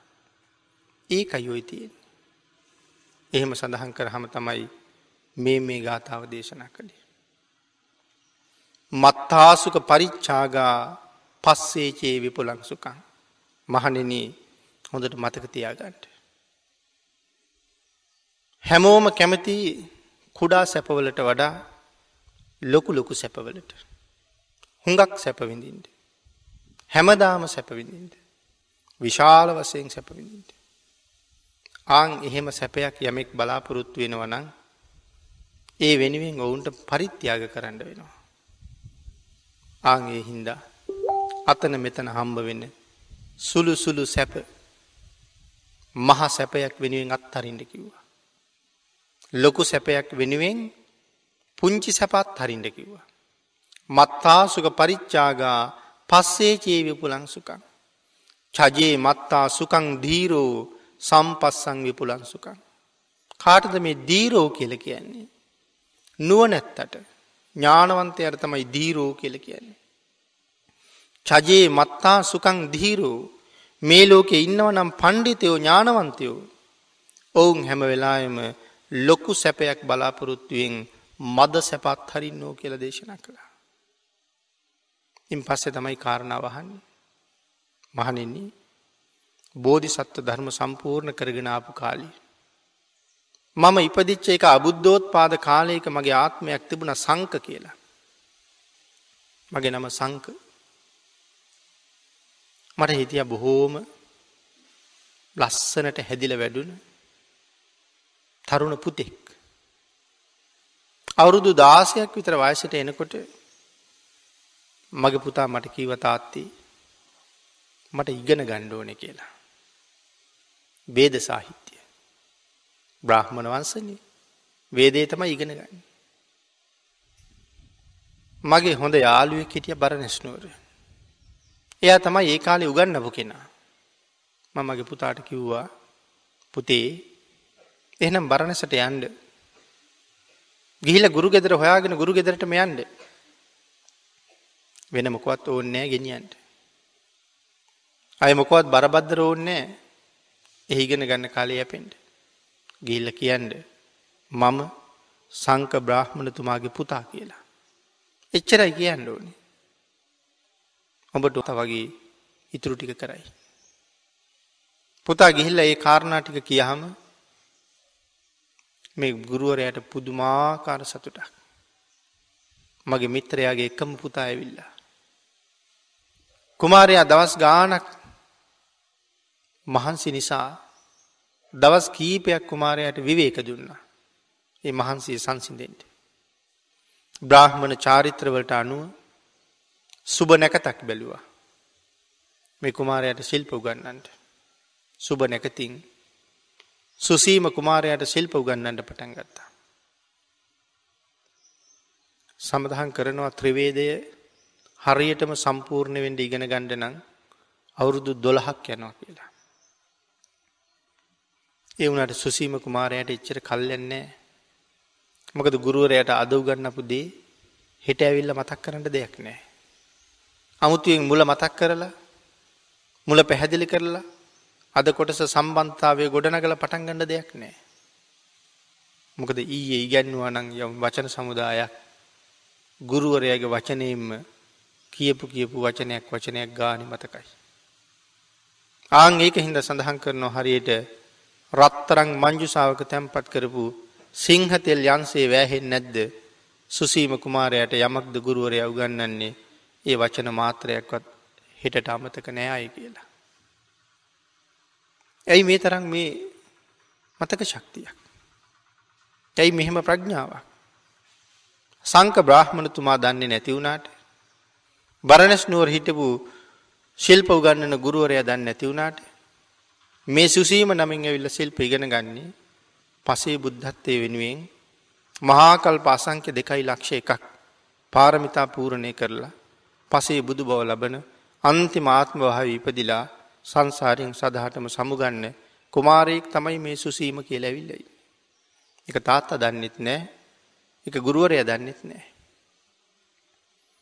බොහෝම ඉක්මට ශිල්ප ඉගෙන ගත්තා ඉට පසි ගුරුවරයගෙන් ඇහු ආචාරිතුමනී මට දැන් වේද සාහිත්‍යය මුල හොඳටම පේනවා. මට වේද සාහිත්‍යයේ මැදත් හොඳට පේනවා. නමුත් මට තාම මේක කෙරවල පේන්නේ. එහෙම සඳහන් කරහම ගුරුවරයකි වපුතේ එහි කෙරවලටන් අපිට පේනෙත් නෑ. මම දන්නෙත් ඔච්චර තමයි දන්නටික උඹට උගන්නලා ඉවරයි කියලා. ඒ වුණට මට පරතරට උම් එක දකිින් ඩෝනේ. කොහොමද මං ඒ වැඩේ කරගන්නේ. කීව පුතේ පරතරටම දන්න අය ඉන්නවා. හැබැයි ඒ බ්‍රහ්මණවරු ඉන්න ඉසි පතන. එහෙනම් ඉතින් ඉසි පතනයට යන්න වෙනවා. සුසීම කුමාරය ගුරුවරයට වැදලා ගුරුවරයාගෙන් සමුවර ගත්තා.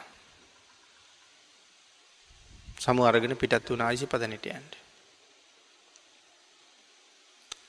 එහි ගියහම එහි ඉන්නේ පසේ බුදුරජාණන් වහන්සේලා. උන්වහන්සේ ළඟ ගිහිල්ලක් වන්දනා කරලා කතා කරලා. මට මෙහෙමයි වේද සාහිත්‍යය මුල මැද දෙකම පේනවා නමුත් කෙරවලට පේන්නේ. ඒක දැනගණ්ඩ ආවික හම පුළුවන්. පුතේ ඒක උගන්නන්න අපිට පුළුවන්. ඒ වුනාට ඔහොම අයට උගන්නන්ට හරි අමාරුයි. එහෙනම් අපි වාගේ වෙන්න ඕනේ. ඒකේ මහාන වෙන්න ඕනේ කියලා. සුසීම කුමාරයා මහාන වුණා. සුසීම කුමාරයා වැඩි කල් නොයා තාම කෙටි කාලයකින් පසේ බුද්ධත්වය ලැබවා. පසේ බුදු බව ලබාගත්ත සුසීම කුමාරයා බැලුව තමන්ගේ ආවුෂතාව කොච්චරක් ඉතුරුද කියලා. එතකොටත් ආවුෂ ඉවර වෙමින් තමයි තියෙන්නේ. ඒ නිසා කල්පනා කලා එහෙමනං පාරමිතාව පූරණය වුණා පිරිනිවම් පාන කාලය ලැබිලා තියෙනවා. මොකක් හරි හේතුවකින් අල්පායුෂ්කයි. අහසට පැන නැගලා ප්‍රාතිහාරය දක්වලා පිරිනිවම් පෑවා. පසේ බුදුරජාණන් වහන්සේලා සුසීම පසේ බුදුරජාණන් වහන්සේගේ ශාරීරික දහතුන් වහන්සේලා ටිකාරගෙන මිනිස්සුන්ගේ අතට දීල කිව්වා. නගරද්වාරයේ මේ ධාතුන් වහසල තැන්පත් කරලා චෛත්‍යයක් හදන්න කියලා. මිනිස්සුන්ට වැඳ පුදාගෙන පින් කරගන්න. මිනිස්සු එකතු වෙලා අපූරු චෛත්‍යයක් හැදවා. සංක බ්‍රහ්මණතුමා කල්පනා කළා පුතා ගියත් ගියාමයි කිසිම තොරතුරක් නෑ. ඒ හින්දා තමන්ගේ කුඩෙයි පැන් අරගන්න කෙන්ඩියයි සීතලට පොරවාගන්න උතුරු සලුවයි මේ ටිකත් අරගෙන සංක බ්‍රහ්මණතුමා ගෙදරින් පිටත් වනා බරණසට යන්ඩ පුතා හොයන්ට. බරණසට ගෙහිලා මිනිස්සු රැස්වෙලා ඉන්න තැන්වලට ගහිලා මිනිසුන්ගේ අහනවා මෙන්න මේවාගේ කුමාරයෙක් දැක්ක නැද්ද. එහෙම තොරතුරු හොයාගෙන හොයාගෙන ගියා. ගුරු ගෙදරින් දැනගණ්ඩ ඇතින ඉසිපතරයට ගියා කියලා. හැමෝම කියනවා දැක්කා. දන්නවා. අඳුරනවා. හැබැයි ඒ කුමාරයක් දැන්නේ. ඔය කියන සුසීම කුමාරයා ඉසිපතනෙදි පසේ බුදුනා. පසේ බුදුරජාණන් වහන්සේ අල්පායුෂ්ක වුණා උන්වහසේ පිරිනුවම් පෑවා. උන්වහසගේ ධාතුන් වහසල තැන්පත් කරලා හදාපු චෛත්‍යය තම යරපේන්නේ. සංක බ්‍රහ්මණතුමාට සිහිනැතුව වැටුණා. සංක බ්‍රහ්මණතුමා බිම වැටිලා සිහි එලවගෙන මහපොලෝට අධ්‍යකින් ගහ ගහාඩන්ට පටන් ගත්තා. අඩලා අන්ඩලා අන්ඩල දුක තුනී වුණාට පස්සේ නැගිටලා හෙමින් හෙමින් චෛත්‍ය දිහාට ගියා. යනකොට බ්‍රහ්මණතුමා දැක්කේ චෛත්‍ය මළුවේ තන කොළ ඇවිල්ලා. සංක බ්‍රහ්මණතුමාට හරියට දුක හිතුණා. කුඩෙයි කෙන්ඩියයි පැත්තක තියල මළුවේ ඉඳගෙන මේ වල් පැල එකක් නෑර ගැලිව්වා. දැන් එක වල් පැලයක්වත් නෑ චෛත්‍ය මලු හරීම ලස්සනයි. බ්‍රහ්මතුමා කල්පන කළා සුදු වැලි ඇතුරුවොත් චෛත්‍ය මළුව තව කොච්චරණ ලස්සන වීද කියලා. නමුත් උපකරන නෑ. ළඟින් ගඟ ගලාගෙන යන ගඟට ගිහිල්ලා තමන් සීතලට පොරවගන්න උතුරු සලුව ගඟේ එල්ලල ඒකට වැලිපුරෝපුරෝ ඒක ඔතාගෙන ගෙනල්ල මළුවට දානවා. සම්පූර්ණ මළුව හතරමුල්ලම වැලිදාලා හොඳට සමතලා කරා. දැන්නම් පෙරට වඩා බොහෝම ලස්සනයි වැලි තලාව මතින් නැගිත්ත චෛත්‍ය සුදූ සුදුවට බැබලෙනවා. සංක බ්‍රහ්මණතුමා තමන්ගේ පුංචි කෙන්ඩියෙන් වතුර ගෙනල්ල ගෙනල්ල මුළු මල්ලුවම තිමුවා. දූලි නැගෙන් නැතිවෙන්ට. කැලෑවෙන් මල් එකතු කරගෙන ඇවිල්ලා වනමල්ලොලින් චෛත්‍යයට පූජ පැවැත්තුවා. ඒ සේරම කරලා වන්දනා කළා. වැඳලාපහු යන්ඩ හැරිලා කොත් කැරල්ල දිහා බලහම නිකම්ම නිකං අහසට විවෘත වෙලා තියෙනවා. ළඟ කොඩියක්වත් නෑ. සංක බ්‍රහ්මණතුමාට පූජ කරන්න කොඩිත් නෑ. ඇයි මේ චෛත්‍යය වඳින්ඩාවන මේ නි පුතා හොයන්ට නාවේ. තීරණය කලා මගේ උතුරු සලුව මං කොඩියක් කරනවා. ගඟට බැහල හේදුව උතුරු සලුව. දිගලීයක් හොයාගත්තා. එලීය ගැට ගහලා කොත් කැරල්ලට කෙලින් උසින් හිටෙව්වා. දැන් උතුරු සලුව ලෙල දෙනවා. මෙතන ජත් හැරිය යමක්. මේ උතුරු සලුව මොකටද. සීතට පොරෝගන්ට. මැස්සන්ගේ මදුරුවන්ගේ ආරක්ෂාවෙන්ට. තැන් උතුරු සලුව නැතිවෙච්ච හම සංක බ්‍රහ්මණතුමාට ගෙදරට යනකං රෑට රෑට සීත හැදෙනකොට පොරෝගණ්ඩ එකක් නෑ. රෑට ගස්සයට වගේ නතර වෙනකොට කැලෑවල්ලෝ නතර වෙනකොට මදුරුව කනකොට පොරෝගණ්ඩ එකක් නෑ. උතුරු සලුව තිබ්බනන් සැපයි. නමුත් උතුරු සලුව කොඩියක් කළා මදුරුව මට කෑවට කමක් නෑ. සීතලෙන් මම් පීඩාවින්දර කමන්නෑ ඒ සුළු සැපය මට එපා මේකින් ලබාගන්න ආරක්ෂාව ඊට වඩා චෛත්‍යයට කොඩියක් පූජ කරන එක වටිනවා. නිකම්ම නිකං පොරෝණ සලුව. කොත් කැරල්ල දිහා බලහම චෛත්‍ය අව්වේ සංක බ්‍රහ්මණතුමා කුඩේ ගෙනාවේ අව්වට ඉහළගන්ට. මේ කාෂ්ට කව්වට මං පිච්චු නට කමන්නෑ බුදුරජාණන් වහන්සේ අව්වේ. ඒ හින්ද කොත් කැරල්ල ළඟට ගිහිල්ලා තමන්ගේ කුඩේ ඉහල්ලා කොත් කැරල්ලි ගැට ගැහවා. කොතට හෙවන වැටෙන්ට. මහනින මේක තමයි මංකරපු සුළු පූජාව. පින්කමකට ලැහැත්ති වෙලා ගිය නෑ මම. සුළු පූජාවක් කළේ. හජගහනුවරු ඉඳලා විශාලාවට යනකං අට යුදුන් මාර්ගය ගඟගාවට මෙහා පැත්තෙන් පහයි එහා පැත්තෙන් තුනයි. එක තනකොළ කෙන්දක් නැතුව පාර සුද්ද කිරුවේ ආංගේ හින්දා. චෛත්‍ය මළුවේ තනකොළ ගලෝපි හින්දා. පසේ බුදුරජාණන් වහන්සේගේ චෛත්‍ය මළුවේ තනකොළ ගැලවී. එතකොට අපි අපිට ලැබෙනවනං ලෝතුරා බුදුරජාණන් වහන්සේගේ චෛත්‍ය මළුවක තනකොළ ගැබි ගලවන්ඩ. ඒවාගේ භාගයක් ලක්ෂ ගණන්ගොලට කෝටි ගණන්ගොලට ගණඩ පුළුවන්ද. අපේ ශාසනය හිටිය පබංගර කියල මහරහතන් වහන්සෙනමක්. පබංකර මහරහතන් වහන්සේ අතීතයේ ඉපදිලා හිටිය වනජීවිය කෙටියට වනජීවි නිලධහරියෙක් වන කාර්මිකය කෙටියට. එක දවසක් මේ කාර්මිකය කැලේ දයන කැලේදි කියනවා. යනකොට දැක්ක එක තැනක ගාල් පැටල්ලා පැටල්ලා මහ අකුලක් එතෙන්ට යන්ඩම බෑ. මෙයා එබිල එබිල බැලුව මේ අකුලාසේ මොකක්ද කියලා. පස්කන්දක් තියෙනවා ලොකුවට. මෙ තවටිකක් හොඳට විමසිලිමත් වුණා. මෙ තීරණය කලා මේ තියෙන්නේ ලෝතුරා බුදුරජාණන් වහන්සේගේ ධාතුන් වහසල තැන්පත් කරපු චෛත්‍යයක් නටබුන් වෙලා. කැලේ වෙහිලා. වෙන ගමනක් මෙනිලද හරිය යන්නේ. නමුත් කල්පනා කළා ශාරීරික ධාතුන් වහන්සේලා වැඩඉන්න චෛත්‍යය පඳුරුවලින් වැහිලා කැලේ වැහිලා. බුදුගුණ දන්න මම මේ කැලේ වෙහිච්ච චෛත්‍යයට පිටුපාල කොහොමනම් යන්නද. මගේ ගමන් කවද කරගන්න බැරිද.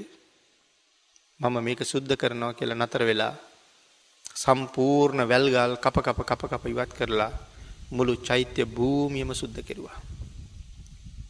බලන්ඩ සිතුවිල්ල. බුදුගුණ දන්න මම චෛත්‍ය මේ විදිහට වල් වැහිල තියෙනකොට කොහොමද යන්නේ. මන්ද නෑ ඉතින් හිතනවනං අපිටත් කොච්චර දේවල් හිතන්න තියෙනවති කියලා. චෛත්‍ය මලු කොළ වැටිලා පිරිසිදු වෙලා තියෙනකොට. බෝමලු අපිරිසිදු වෙලා දැක්කා. මල්ලාසන අපිරිසිදු වෙලා දැක්කාම. විහාරගේ හැඩි වෙලා දැක්කහම්. එහෙමනම් පබංකරයන් වහන්සේට අනුව බුදුගුණ දන්න මම මේ විහාරය අතුගාන්න නැතුව කොහොම පිටු පාණ්ඩද කියල හිතෙන්ඩ ඕන. මංහිතන්න එහෙම හිතෙන්නේ මහ පුුණ්‍යවන්තයන්ටම වෙන්ඩ ඇති.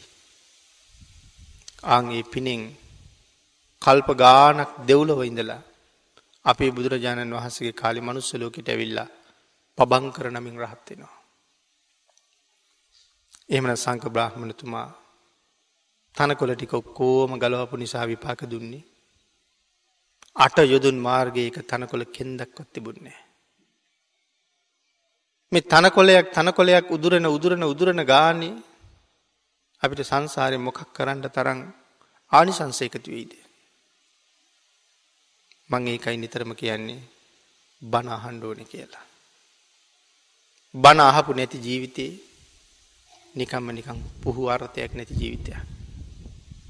යමක් කරන්න දන්න යමක් කරන්න තේරෙන්නේ කෙරුවට වටිනාකම දන්න එනිසා දානපති වෙන්ඩ බැරුව යනවා. බුදුරජාණන් වහන්සේ මේ තරම් මිනිස්සුන්ට බණහන්ඩ දේශනා කළේ මේ තරම්ම කුසල් රැස් කරගන්න බනාහනකොටයි තේරෙන නිසා. පිනතුරි මල්ලුවක තියෙන එක තනකොළ ගහක් ගලවන්ඩ ගලවන්ඩ සංසාරය අපිට පුළුවන් වෙන්නේ. අනාදිමත් කාලයක් සංසාරය අපි මැරිමැරි උපදින බව අනමතක්ග සංයුත්තේ මේ පින්නතු නෝන තරං හල තියෙනවා. ඇයි මේ මැරිමැරි ඉපදීපදි තිරිසං වෙනවා පෙරේත වෙනවා අසුරයෝ වෙනවා දෙවිය වෙනවා ආපහු පෙරේත ලෝකෙට යනවා ආපහු නිරේට යනවා. මොකක්ද මේ පෙරලි පෙරලියන හේතුව.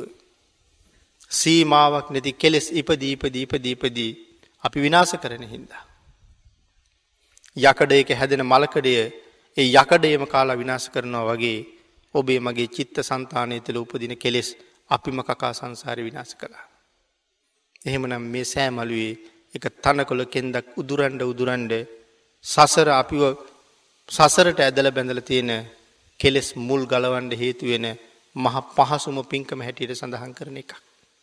චෛත්‍ය මළුවක එක තනගහක් උදුරනකොට සංසාරයට එක කෙලෙස් මුලක් ගලවන්ඩ තරන් එක මහත් ආනිසංසයි. එහෙමනම් මේ වගේ අවස්ථා මිනිස්සු පොර කණ්ඩුවන මේ වගේ දේවල්ලොට. චෛත්‍ය මළුව සුද්ධ කරන්නයි පොර කණ්ඩුවනි. බෝමලුවාම දින්ඩයි පොර කණ්ඩුවනි. නමුත් අපි හදන්නේ නොදැක්කවාගේ හාව බලාගෙනයන්ට. එහෙම වනේ බනහල නැතිහින්ද. බණ ඇහුවනං අපි සංසාරමෙල්හට ඉවර වුණා වෙන්ඩත් තිබ්බා. එදත් ඇහුවේ නෑ අදත් අහන්නේ හෙටත් අහන්ඩ කල්පනාවකුත් නෑ අපි කොයි තරං අවාසනවන්තද. මේක වචනයක් කොච්චර ගැඹුරට කතා කරන්න පුළුවන්ද. මේ වගේ උතුම් කාරණ හැම වෙලාම හිතන්ඩ මෙනෙහි කරන්න ඕන්න මං කියන්නේ ලෙඩ ඇඳේ ඉඳගෙන මෙ හිතුවට වැඩක් නෑ. අතපාය හතර පණ නැතුව මෙව හිතුවට වැඩක් නෑ. මෙව දැන ගණ්ඩෝන අතපා හයිය තියෙන කාලි. ඒවට යෙදෙන්ට හිතෙන්ට ඕන අත පා හයිය තියෙන කාලි. අර කාලෙට වෙනමකොක් කර ගණ්ඩ බෑ. අහා දුක්කෙන්ට විතරයි තියෙන්නේ. ඒ නිසා මේ කනින් අහලා එහා කනින් පිට කරන්න නැතුව අහපු දේ අමතක කරලා නැගිටින්න නැතුව මේ ලැබිච්ච ජීවිතෙන් ප්‍රයෝජන ගන්න ඔබ සියලු දෙනාට රත්නත්‍රී ආශිර්වාදයෙන් ශක්තිය ධෛර්යය භාග්‍ය වාසනාව උදා වේවා කියලා ආශිර්වාද කරනවා. ධර්ම ශ්‍රවණය කරලා රැස් කරගත්ත සියලු පුණ්‍ය ධර්මයන් ලොකු කුඩා සියලු දෙනාටම අනුමෝදන් වේවා. අද උදෑසන කාලේ සිහිල් දානය සකස් කරගෙන ආපු අපේ පින්වත් පිරිස බොහෝම ශ්‍රද්ධාවෙන් තමන්ගේ ඥාති මිත්‍රාදීන්ට පින් අනුමෝදන් කරන්න තම තමන්ගේ සංසාරයට කුසල් එකතු කරගන්න නිවන් දකිනතුරු උපදින උපදින ජාතියක් පාසා සාපි පාසාදී දුර්ගතීන්ට භාජනය නොවෙන්ඩ මේවාගේ තුන්හාර්සීයකට නෙමේ ලක්ෂ ගණන් කෝටි ගණන් ආවත් නෑ නොකිය බෑනො කිය දන් දෙෙන්ට පුළුවන් ශක්තිය ලබන්ඩ අද උදෑසන දාන පිළිගන්නවන්නට යෙදුනා මේ පෙහෙවත් සමාදන් වෙලා අපි රැස් කරගත්ත කුසල් සද්ධර්ම ශ්‍රවණය කරලා අපි රැස් කරගත්ත කුසල් අපිට දම් පැන්දුන්න සත්පුරුෂයන්ට අනුමෝදං වේවා. ඒ අය පින් අනුමෝදන් කරන ගුරු දෙමවපියාදීන්ට ඒ පින් ඒ කාන්ත වශයෙන් හේතු වේවා. මෙලව ජීවිත සුවපත් වේවා. කල්්‍යාන මිත්‍රයෙන් ඇසුරට ලැබේවා. නිවන් දක්නා ජාති දක්වා. කවර කවම දාකවත් පාප මිත්‍ර ඇසුරකට ලක්න වේවා. කල්්‍යාන මිත්‍රයන්ට එරෙහි නොවේවා. නිර්මල පර්යාප්ති අහන්ඩ ලැබේවා දරන්ට ලැබේවා. ප්‍රාර්ථනා කරන උතුම් නිවන ඒ අයටත් පින් අනුමෝදන් කළ සියලු දෙනාටමත්. ඉතාම ඉක්මං භවයක ඉතාමත්ම කෙටිකාලයකින් සැප සහිත ප්‍රතිපදාවකින් මුදුම් පත් කරගණ්ඩ මේ කුසල ශක්තිය ආශිර්වාදයක් වේවා කියල ප්‍රාර්ථනා කරන. ඒවගේම පෙහෙවත් සමාදන් වෙලා කටයුතු කරන මෙලොකු කුඩා සියලු දෙනාටම ඒ සියලුම පුුණ්‍ය ධර්මයන් අනුමෝදන් වේවා මම රැස් කරගත්ත සද්ධර්ම දානානි සංසයත් අනුමෝදන් වේවා අද හිමිදිරියේම විහාරස්ථානයට පැමිණිලා මේ ධර්ම දේශනාවල් තව බොහෝ දෙනාට ශ්‍රවණය කරන්න අවස්ථාව ලබල දෙෙන්ඩ. ප්‍රඥා රූපවාහනි නාලිකාවේ මේ තරුණ පුතුන් බොහොම වෙහෙසමින් මහන්සියමින් ලොකු ව්‍යායාමයකය දෙනවා.